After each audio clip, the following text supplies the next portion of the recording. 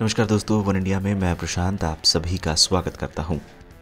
Indian premiere league के तेरहवें season का दूसरा क्वालिफायर मैच अबू धाबी के मैदान पर दिल्ली कैपिटल्स और सनराइजर्स हैदराबाद के बीच खेला गया। इस मुकाबले में दिल्ली कप्तान श्रेयस अय्यर ने टॉस जीता और पहले बल्लेबाजी करने का फैसला किया। इस मुकाबले में श्रेयस अय्यर ने मार्कस टोनिस और शिखर धवन की जोड़ी से ओपनिंग कराने का फैसला किया, जो बेहद सही साबित हुआ।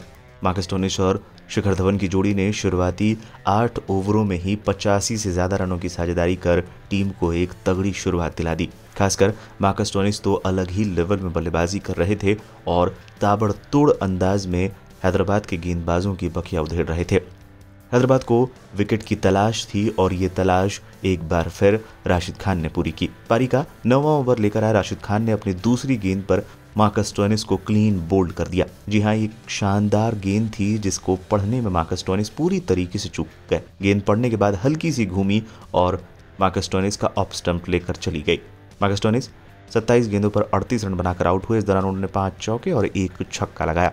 हालाँकि विकेट लेने के बाद राशिद खान कुछ ज़्यादा ही जोश में आ गए और उन्होंने मार्कस टोनिस को कुछ भला बुरा कह दिया। जी हाँ बीच मैदान ही राशिद खान और मार्कस टोनिस के बीच तू तू मैं मैं भी देखने को मिली। हालाँकि अंपायर ने इसको लेकर कुछ खास प्रतिक्रिया नहीं दी, लेकिन थर्ड अंपायर ने इस पर ज़रूर नज़रें गड़ाई होंगी और मैच के बाद दोनों को इसको लेकर कुछ ना कुछ भुगतान तो ज़रूर करना पड़ सकता है।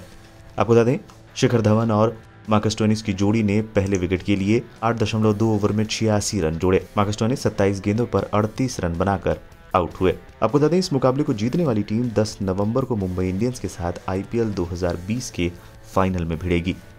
फ़िलहाल के लिए इस वीडियो में इतना ही। तमाम स्पोर्ट्स अपडेट के लिए बन रहे हैं वन इंडिया के साथ।